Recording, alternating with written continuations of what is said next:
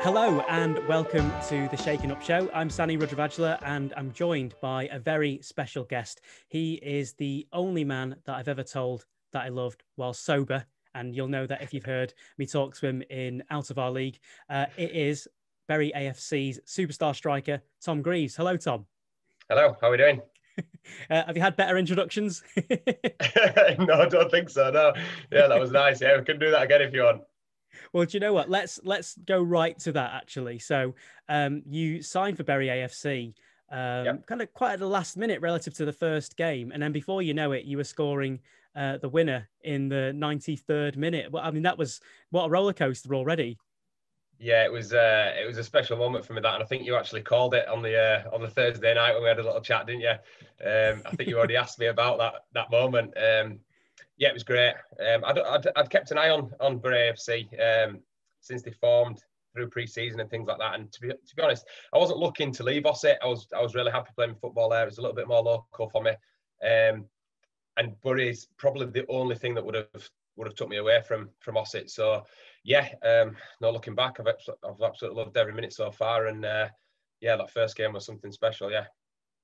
Yeah, um, and you've scored goals pretty much throughout your career. So, um, yeah, I did ask you what would happen if you'd score in the 90, 93rd minute, 90th minute, what would happen? But actually, looking at your record, um, it was kind of an open goal, really, wasn't it? As far as the question goes, excuse the pun, because uh, it's not the first time you've done that either.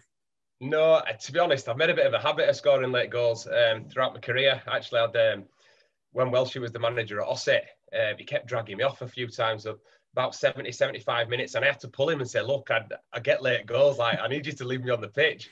And literally, the next game, I scored in like the 90th minute, and he said, "Well, you called it, didn't you?"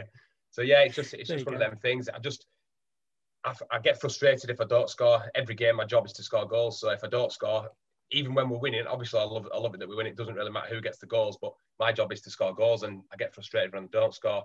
Um, so yeah, I've, I've loved every minute so far, and the goals keep coming. Hopefully they'll uh, will continue if we get to finish the season. Yeah. Now, in our pre-match show uh, a couple of weeks back, now I caught up with your brother, and I said that um, you struck me as somebody who maybe even when you were growing up were the ones trying to like bag bag a hat trick or a double hat trick in the garden or anything. Was it was that the case? Yeah, yeah, literally. There's no better feeling than scoring goals when you whether you're scoring in your back garden, like you say, or you're scoring 91st minute winners. It literally just scoring goals is is all I've wanted to do, and yeah, it's just something I'll I'll not stop wanting to do. See, so this this is why Pele's record can't get beaten, will it? When he when he ranks every single goal he scored in every competition ever, whether it's like in real life or on Subbuteo or something. Um, so you, you cut from the same cloth as him by the sounds of things. yeah, literally. Yeah. If I've scored one goal, I want to score another one. I can remember I played a Sunday league game when when I was older, um, probably about 21, 22. We, we had a bit of a, a really good non-league um, non-league Sunday league side, like a lot of players that played at a good level. Um, and then we had typical brute centre halves and things like that that played in there for Sunday League. And we'd, we'd hammered this team and I'd scored nine in this one game. And the manager brought me off with about 10 to go. And I was like, I want to get 10. It's like, why are you, why are you taking me off? So yeah, it's just, that's just always been drilled into me. I've just, if I score one, I want two. If I score two, I want three. It's just one of them things. Yeah. Now, if we go back to the start of your career growing up, you actually uh, were into rugby, weren't you, until you were about 13 or something, your brother told me? Yeah, yeah. Um, played for Baildon Rugby, um, Baildon Rugby Club from under eights, I think it was, right through till, till when I was like 13. It was the lads literally at school trying to get me to play football. Um, ended up joining Eldwick Juniors, had a year for them, and then um, moved on to Nabwood Juniors, um, just local teams. And yeah, I, I never looked back then. It was always football that I wanted to do. Yeah, well, what happened with the rugby side? Was it just that your friends convinced you otherwise? Could you could you have been a star rugby player in another world? Do you know, I was actually quite good to be fair. I was probably a lot quicker than I am now. I, I used to play fullback. Um, quite a lot of the time, they'd, they'd punt the ball forward, I'd catch it, and I'd, I'd just be off. I was quite quick as a kid. Um, but I was also quite small. And when it starts to get to under 13 level, you can you can imagine the size of the lads. And I, I took a hit once, and it nearly knocked me into next week. And that's when I kind of thought, I think football might be for me. Um, I played one one game for Baildon third teams just as a bit of a laugh. James played as well, my brother, and, and my dad actually played as well. um, and ended up getting man of the match. Got a couple of tries and a couple of conversions. So there's always that part of me that does enjoy rugby, um, but I, I, never had the, the, physique or the shape to to go on to be anything more than I was. To be fair. Yeah, you know, you've really you've really damned football for everyone now, saying that you got hit too hard to carry on playing rugby. well, yeah. Honestly, I, I was only little as a kid, and this guy is he's probably bigger than I am now, and he literally ran at me, and I thought I can't move out of the way, and he just literally steamrolled over the top of me and that was at that point I thought, yeah, maybe I need to move to football. yeah. So um, as far as football goes, now uh, I asked this question of James, and I asked it of uh, of Wayne Goodison, the man- co-manager of 1874 uh, Northwich, when we were previewing you. So I can ask you yourself. Um, yep. You know, goals are, are, are, so hard to come by, and, and somebody who's a natural goal goal scorer like yourself, and you played at a very good level. Um, was there ever the opportunity to go any higher than the level that you've played at? Um, I had a trial with Bradford City when I was 17, um, the club were in administration at the time, so they would have had to take me on as a second year pro, um, and obviously they, they, never did that. So I went to Park Avenue. Um, I knew I, I, knew at an early age I wasn't going to make it a top top level. Um, I was technically not good enough. Uh, like I didn't get in my school team until I was like year six, uh, and things like that. So I knew I wasn't going to make it top top level. Um, and then after the, the kind of trial with, with Bradford City, I just thought go play non-league football and, and get what you can out of it and enjoy it as much as you can. And I've had a lot of good moments um, in my career for non-league for non-league clubs, and I don't regret anything. I absolutely, I've absolutely loved my time, and hopefully, I got a couple more years to come yet. So, what were you doing um, whilst you were playing for Bradford Park Avenue? What were you doing as well? Like uh, job work or everything else? Yeah, job wise. Yeah, sorry, I thought yeah. I worked at I worked at Bradford City there, football in the community, um, going around primary schools, delivering PE sessions, um, and things like that after school clubs. So I've always been involved in sports and coaching. Um, and then me and my brother set up um, our own coaching business called Physical Sports in Baildon. Um, and we do exactly the same now, but we've kind of expanded it a little bit. We've got a little five-a-side centre with a soft play unit in it. Um, we do parties, uh, tots things for like toddlers, two, three, four-year-olds, and we've just gone from strength to strength with it really. And obviously, at the minute, just the COVID things are holding us back a little bit. Yeah, no, I saw a video you tweeted uh, the other day, and I, you, with the sound you could hear, there were some kids shouting, and you'd like just started doing a handstand, walking along the pitch. Was that was that where you were working at? Is that your? Yeah, place? that's it. That's that, that's our little place. Yeah, that's that's my only party trick as well. My my hands, my walking on my hands. Um, but yeah, it was um, that was my lad and, and James's lad. We just what better thing for them to be able to have their own football pitch and their own soft play area. So we met the most of it. They're uh, they're really lucky, and they know they're really lucky to have that. Um, but yeah, it's just something we always wanted. Once once we got into the coaching, we wanted somewhere where the kids could come to us rather than us going around all the different sports halls. So we worked hard. We worked really hard to get there, and uh, yeah, we finally got our place two or three years ago. Yeah, well, that, that's living the dream, having your own uh 3G in indoor by the looks of it as well. Yeah, your kids are living yeah, the dream yeah. completely. Oh, don't get me wrong, it's cold in there. We haven't got the heating system uh, booming yet, but um, yeah, it's it's great, and the lads are just starting to love to love football at their age now. My lad's uh, five and James's lad's four, so they're at a great age now where they're where they're really starting to take an interest in it. So yeah, for for a kid to have their own football pitches, yeah, it's great for them. Now, this is probably the longest that somebody's spoken to you about football, probably without mentioning FC United, right? Um, so we probably should probably talk about that. I don't know what you think. Touch on that um, if you want. Yeah, the lads give me a bit of stick for never shutting up about FC. yeah, well, uh, you know, somebody scored 103 goals uh, for FC United, according to the uh, the top FC United fan website, which is like fcunited.ru or something. Um, I spoke yeah. to uh, Tim at FC, and he said. The guy who runs that is based in Ukraine, but uh, he's got all your yeah. stats, which is yeah, really yeah, useful. On there. It's, it's a good website to be fair. Yeah, every club should have that. To be honest, it's uh, yeah, it's good. Yeah. So, um, how did the move to FC come about in the first place? Um, I was at Bradford Park Avenue. Um, I actually scored the winner against um, FC in the playoff final.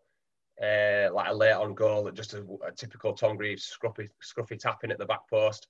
Um, and I'd also scored a hat trick against FC a couple of seasons before that as well. So Margie knew who I was, the manager, Carl Marginson, at the time.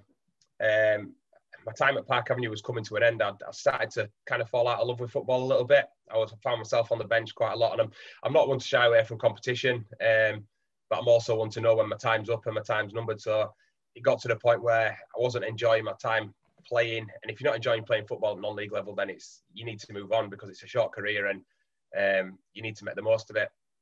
So it was. Um, my brother just said, "Why don't you? Why don't you send?" You, it was Spider, the keeper. John Worsnop at the time was at FC United. Um, I'd known him from Park Avenue as well. So my brother just said, "Why don't you just send him a message and see what the crack is?" So I messaged him and said, "Look, do you need any players? Do you need a striker?" So he put me in touch with the manager, and I went down training, signed, and then yeah, the rest is history. Wow, there you go. Um, what was that experience like? I know that that's a difficult question to answer because it was so varied, and, and you ended up becoming uh, the manager as well. But let's let's start right at the beginning of that experience. Then, so you've, you've gone into this side. They're a they're fan run side. They're the protest club. They've started at Gig Lane. We, did you join when they were playing at Gig Lane, or had they moved to their own yeah, yeah. by them? Yeah, yeah. No, I had a lot of good times at Gig Lane. To be fair. Um, so yeah, um, I'd signed. I'd signed early January, I think it was. Um, and for me, like I said before, what I knew that I was never going to make it at a top top level. So I, I knew all about FC United. I'd, I'd, I'd, played against them a few times. I'd gone to watch them a few times um, when they played like Guiseley and Bradford Park Avenue close to me. Um, so I, I, wanted to play for them. Um, and the manager, Carl Marginson, said, look, if you're falling out with football, then this is the place to come to, to find your love for it again. Um, and he was absolutely spot on from from literally my first game. I played Nantwich away. I was on the bench and I, I didn't get on. Um, Greg actually, Greg got the winner, um, one 0 and then I made my debut at Gig Lane um, against Stafford, I think it was, and we won 3 0. And I scored probably the best goal that I've ever scored. Literally a volley from the corner of the box, just lifted it over the keeper. And yeah, the noise that the crowd made and just things like that was just a it was just a massive buzz. And I was addicted to the club, and that's why I stayed so long. Even when I found myself on the bench, there was no way that I was leaving. I was I was working hard to get my shirt back, and and then when I started to get close to the to the goal record, uh, Rory Patterson's goal record at 99, it was like I can't leave this club until I've done that. So yeah, I was I was kind of addicted to it. Um, but yeah, just just because I knew that I wasn't going to make it as a as a pro pro, for me to go there in front of a few thousand fans was was like me being a pro. Yeah, well, um, there have been, I hasten to say, many times where. Um, and I hate to say this really, that FC United have kind of uh, been a bit noisier than uh, when Bury were playing at Gig Lane. It kind of coincided with some of the worst period of football on the footballing side uh, uh for Bury, albeit things got really worse uh, as far as uh, Bury were concerned. But uh, yeah, I mean, I, I, went to a couple of FC United games and it, it was a pretty, pretty uh, amazing experience. And the, you must have uh, a few followers who still keep in touch from from those days, right? Yeah, yeah, definitely. It's just like any any other non-league club. To be fair, you, you get friendly with the with the fans and things like that. And it, it, as cheesy as it sounds, it was just like one big family. Everybody kept in touch with each other. I still keep in touch with all the lads, the players, and the managers, physios, everything.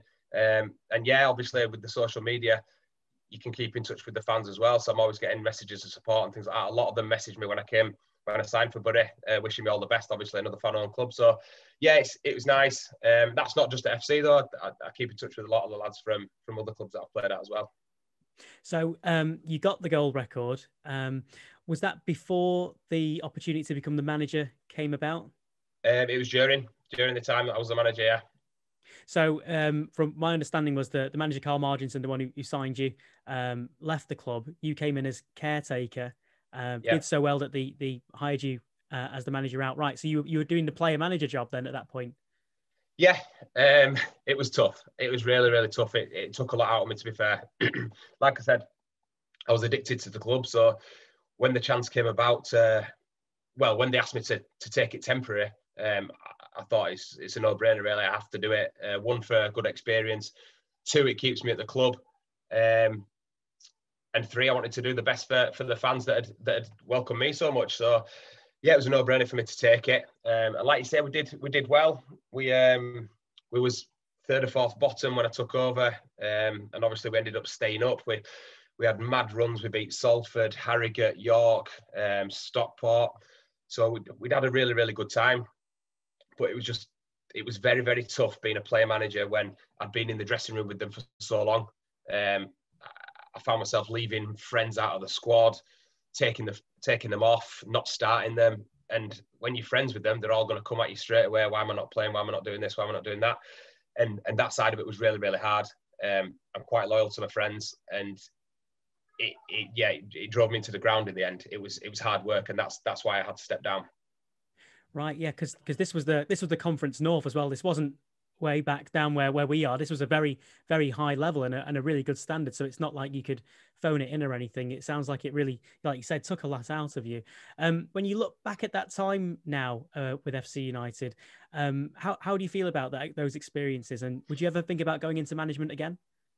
Um, I would. I do quite like the idea of having me on Saturdays back again. I've played non-league football for 16, 17 years. Um, my lad's going to start playing. I've obviously had another little girl now as well.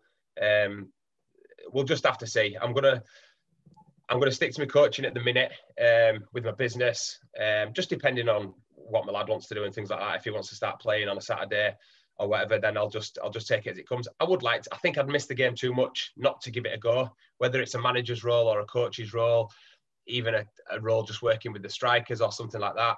Um, I do think I'd miss the game too much if I completely left the game. Um, but it, it, was a tough experience, and it, I'm not saying it's put me off because I did, I did it again for Ossett when they was looking for for the next manager when when Welshie stepped down. Um, so it can't put me off too much. Uh, but yeah, it was it was hard. I, I, experienced a lot within the probably eight or nine months that I was that was the manager. Yeah, because whenever I've spoken to a non-league manager, it always strikes me that um, as much as it might be a part-time role, um, being a manager, it's it's a, it's full time in your mind at least, isn't it? Yeah, of course it is. The, the biggest thing for me was my was was my mobile phone. It literally never stopped. Whether it was your own players, whether it were players you were trying to bring in, managers from other teams wanting low down on other clubs, um, players' agents, uh, players that weren't happy, uh, players that wanted to come in. You just got you got messages on social media. It was it was literally constant. And we trained Tuesday and Thursday like any non-league club would, but we'd stay a lot later to discuss tactics and team selections and things like that. So I weren't going in any more than I was, but I was just staying a lot longer. Um, and then obviously coming from Yorkshire, travelling over to Manchester, I was I was on the M62 more often than not. And like like I said, the, the whole thing just just wore me down in the end. And it was the hardest decision I've had to make in football because, like I said again, it, I was addicted to the club. I didn't I didn't really want to leave. If I could have gone back into the dressing room to play, I would have loved that. But obviously, once you're a manager, it's difficult. Um, when another manager comes in, it, it was always going to be too tough. So, yeah, I don't regret anything. I absolutely love my time there. It's not spoiled anything. Um, I've got great, great memories of FC United. I always will do. Like I said, the lads will the lads will tell you that I never shut up about it. And me and Greg have a bit of a laugh when he he scored the winning goal to to get us up when we won the league. Um, the lads get bored of hearing about that, but yeah, no regrets. But um, literally just I'm just enjoying playing football at the minute, and I found a club where I can enjoy it. Um, and we'll see after after my playing days are finished.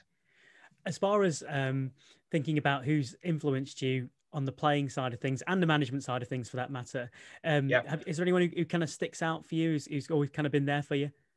Um, when I was a young kid, when I first when I first started football, so when I when I, when I was 13 or whatever it was, um, my uncle used to take me quite a lot. Um, he was on the books at Burnley um, he never shuts up about that. He was on the books for under 12s or something like that.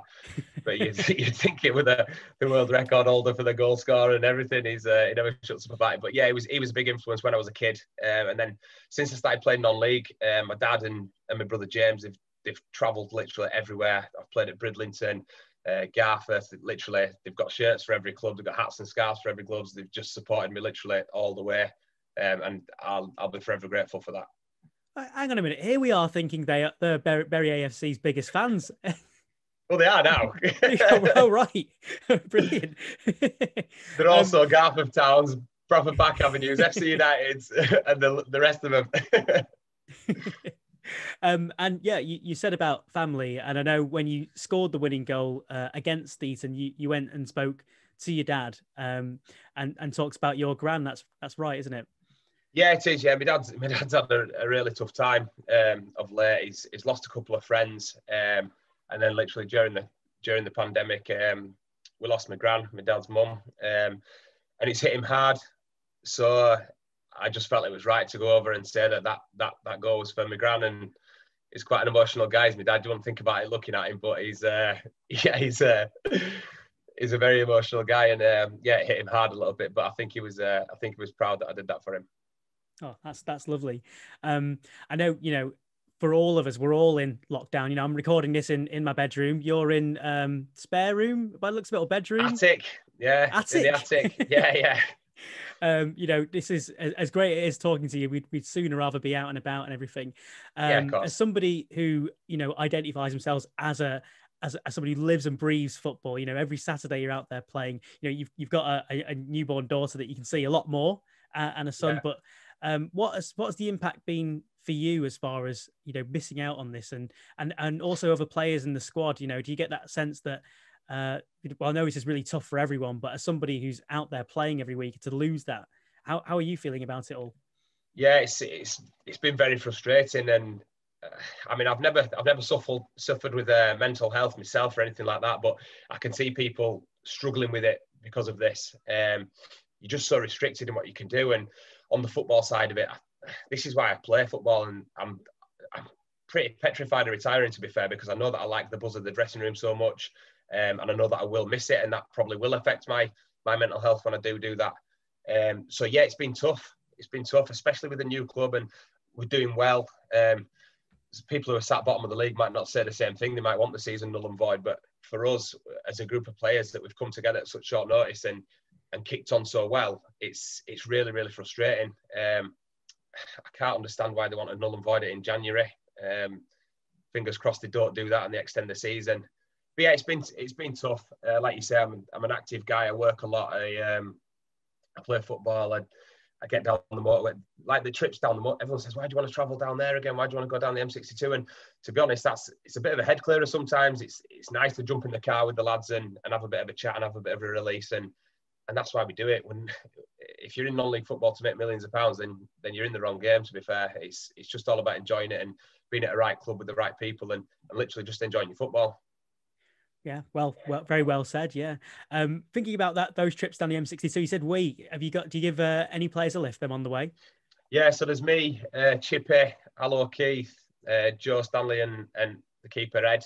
Um, so there's five of us that travel down. So yeah, we have a we have a In a car with and- enough seats, right? Yeah, well, I've got a seven seater, so mine's all right. But with Chippy drove the other week, and Allo Keith ended up sitting in his baby seat. It was uh, it was hilarious to see him sat in that. But yeah, it's um, it's good. We have a, we have a good laugh together. I, I knew Ed. In fact, I knew Ed, Al, and Chippy all, all before this um, from different clubs that I've been at. Um, and then obviously Joe's just been introduced to us all. So yeah, we we all knew each other anyway, and it's just yeah, it's a good crack. We have a good laugh with it. Yeah, I suppose you know, um, as uh, the folk folk of Lancashire, Lancastrians, I think that's the right term. Um, there's a lot. There's a lot of Yorkshiremen in this side. We're kind of having to warm Seawall. Is there is there a bit of a Yorkshire clique in the squad? Uh, the other lads might say that, but no. To be fair, we've got a really, really good group of players. Um, I've never not really got on with anybody I've played with it um, through my non-league days, but but this set of lads are, are really, really tight, really close. Speak on the WhatsApp groups a lot of the times. The lads are meeting up and going for walks and things like that when they could. Um, so it's yeah, it's a good group. There's a lot of good players um, and a lot of nice lads, and, and that's what you want. You don't want any um, any snakes or any bad blood in the dressing room and I don't think we've got that at all. Um, but yeah, we get a bit of a, a bit of stick for for our Yorkshire accents and for um, for probably gravitating to each other more than the other lads. Uh, some might say, but no, as a whole, it's quite a tight knit group. Um, and the manager Andy Welsh, you you know him pretty well. Um, has he ever come to you, or, or has he ever thought about asking you to get involved on the coaching side of things with the experience you've had in the past? Um, he mentioned it to, at Ossett, to be fair, uh, to work to work with the strikers. Um, but it, it never it, something. It was something that never materialised. At the minute, I just want to concentrate on my football. Again, if the opportunity come up in the future, then I'd I'd consider what my my options were and what what my lads doing and things like that. But like I say, if if I can get a role in football that I enjoy and it's not too much stress or pressure, then yeah, great. I'll be I'll be up for exploring that. Now, um, you are the record scorer at FC United. You are the ref- record scorer at uh, Bury AFC as it Yep. stands. Um, do you have any targets? I know it's a question you probably get asked a lot when you when you're a striker. Yeah, um, I usually set myself 20 for the season. Um, but I think now, if I got 20, I'd be very disappointed in myself. Uh, I've been on What, 14 what's the number already, at the so- moment, Tom? What I'm on now? Yeah. 14. Yeah, you answer without hesitation. oh yeah, I know, I know, I know the goals I've scored for every club. Like I'm a bit of a stat freak like that. Um, I, I think aim for 30 this season, um, and then target 50, and then and we'll see see if my legs are fallen off yet, and see if I can do another season. But yeah, I think 50 is quite realistic if we get to carry on the season and uh, and have a good go at it. Uh, there's a, there's a record here that isn't going to get broken at this rate if you if you carry on uh, the way you're doing. Um, well, that's it. Yeah, I've I've always set myself little goals, um, and obviously that was that was that was my goal at FC United. I wanted to get that that goal record, um, and I like to set the bar a little bit higher. But obviously things things didn't work out in the end um, as I wanted them to. But it is what it is. It's football. Um, somebody said to me once, "Don't ever fall in love with a football club because there's no loyalty in football." But sometimes when you get to a club like that, you, you can't help but fall in love with it. And I certainly did. Like I said before, I was I was addicted to it, and I didn't want to leave. Now, um, I described you on the uh, the Bury AFC pre-match show uh, the other week as the non-league Van Nistelrooy, and uh, I noticed, see, seeing as we, we are now friends on Facebook, that you posted the other day, uh, "All my goals aren't tappins," and posted a video of you scoring a, a, a, decent goal. Um, would, would, you say that's a fair description of you, or are you a bit more than a bo- uh, fox in the box? nah, I'm a, I'm a bit of a six-yard man. Like uh, quite a lot of my goals for Bury have been so far. Um, do you know what? I've never really taken I mean, penalties. Couple of them have been on the line line. yeah, literally on the line. Yeah, and you know what? They feel as good as the 25 yarders as well. Um, but yeah, I've never been. I've never really been a penalty taker as well. If when I came in, Welshie said you're not on penalties um, because I scuffed a few in for Ossett. But when I was a kid, I was I was never confident enough to take them. I'll be I'll be honest. Um, or there were always a senior a senior player that would take them before me. So I was never going to budge somebody out of the way with a chance of missing it and then feeling like an absolute idiot. So I've always let other people take them. So I've literally only taken penalties for the last two seasons, um, and I kind of wish that I'd had a bit more bottle when I was younger to do it because my goals could have been a lot more. Yeah. Um, so you say you know all your stats. Can you can you tell us some of the stats right now? How many goals did you score for each club? Yeah, I can't. I've actually wrote them down here just so I didn't forget. But without trying without looking, uh, FC United 103, uh, Bradford Park Avenue 63, Ossett United 42, Ossett Town 14, um, Bridlington Town 15, Garforth Town 33. Then I got four for Yorkshire, 14 for Bury, and I think that's it. 297, I think. wow. Well, you can. Uh, so, uh, well, if you're going to do any Hyde, homeschooling, Hyde, oh. five for Hyde on my little uh, my little visit there for a few months. so, I suppose if you're doing any homeschooling, maths might be one that you could do pretty well.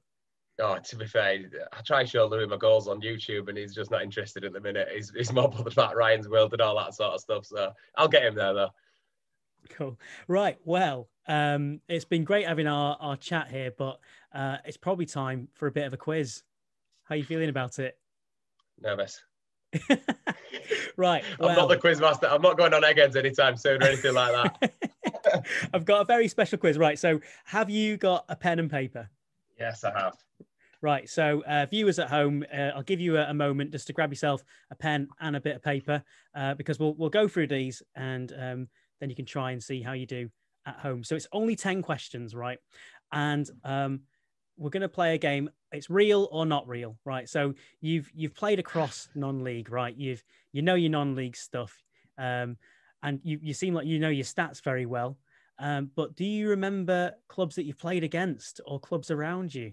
So I've got a quiz here and it's 10 teams. All you've got to write down is is it a real club or a made up club? Okay. Have I made it up? Right. Yep. All right. Question number one Rushall Olympic. So you write down is it real or not real? Rushall Olympic.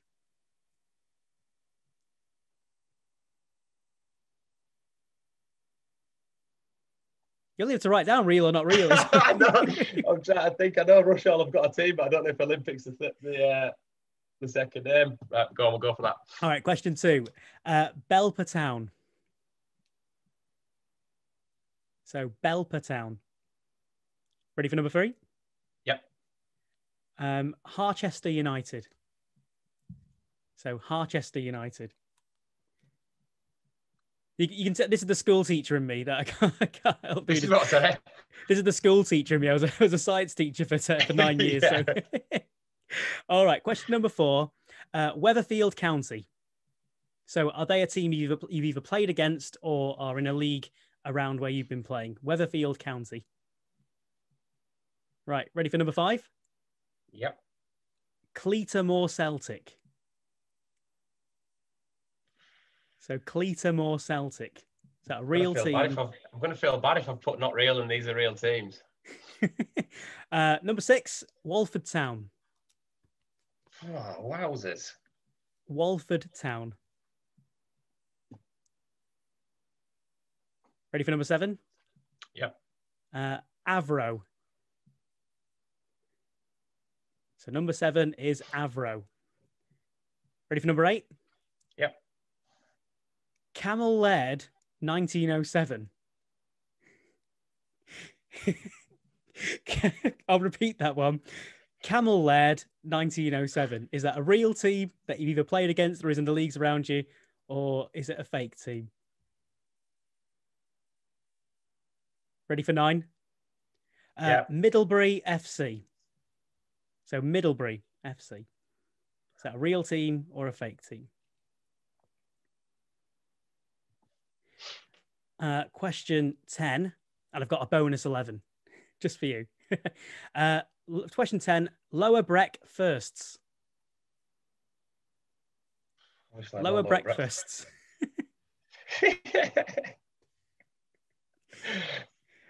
Um, oh, you, had, you just added that on, haven't you? Uh, and question 11, uh, Barnwell. Barnwell. Barnwell. Oh, no, Barwell. No, um, yeah. I got that as an N or a, it's a W, I think. Barwell, yeah. Barwell. It right. could be Barnell. right, so there's 11 for you.